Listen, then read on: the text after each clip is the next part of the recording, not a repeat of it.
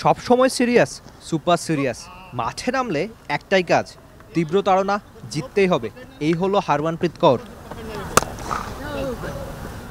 শুধু সিরিয়াস না, আলোচনাও হয় অনেক। কেবলই আলোচনা, কখনো তা রীতিমতো সমালোচনাও। এ তো এর আগের শেষ বাংলাদেশ সফরে এসেও আম্পায়ারদের সাথে কথা লড়াইয়ে গুনতে হয়েছে জরিমানা। আউটের পর ব্যাট দিয়ে ভেঙেছিলেন স্টাম্পও শাস্তিও মিলেছিল ঠিকই। আপনি হয়তো এই সুপার সিরিয়াস কিংবা সমালোচিত হারমানকে ঠিকই চেনেন, তবে রেকর্ডের পর রেকর্ড ভাঙ্গা গড়া ভারতীয় নারী ক্রিকেটের নতুন পথের দিশা, এই হারমানকে চেনেন তো? আইডল মানেন বীরেন্দ্র সেহবাগকে একটাই কথা জীবন অভিধানে, বলটা দেখো আর মারো। প্রথম ভারতীয় হিসেবে নাম লিখিয়েছিলেন বিগ ব্যাশেও, ইংল্যান্ডেও কামিয়েছেন নিজের নাম। নারীদের আন্তর্জাতিক ক্রিকেটের সবচেয়ে বেশি ম্যাচ, ক্যাপ্টেন হিসাবেও তাই। মোগা পাঞ্জাব হয়ে ভারতীয় নারী ক্রিকেটার হিসেবে দুনিয়া জুড়ে নাম।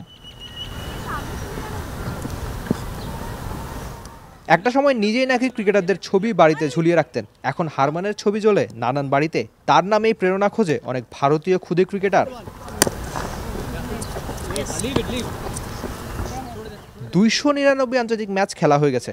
বাংলাদেশের সাথে চার নম্বর টি টোয়েন্টি ম্যাচটা হবে হারমানের তিনশোতম আন্তর্জাতিক ম্যাচ। এর আগে কেবল চার নারী ক্রিকেটারই স্পর্শ করেছিলেন যে কীর্তি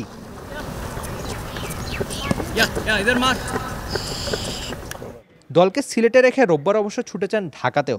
বিশ্বকাপের ব্যস্ততায় সঙ্গী বাংলাদেশ ক্যাপ্টেন। আবার অবশ্য আসতে হবে সিলেটে, ছুটতে হবে মাঠে।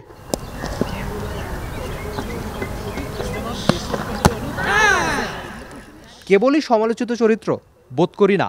ভারতীয় নারী ক্রিকেটের নতুন পথের পথ প্রদর্শকও এই হারমানপ্রীত কৌর। ভারতীয় ডাগআউটের সামনে দাঁড়িয়ে ভারতীয় ক্যাপ্টেনই একটা গল্প বলতে চাই। তবে গল্প তো না, আদতে ঘটনা। পাঞ্জাবে যা হয় আর কি।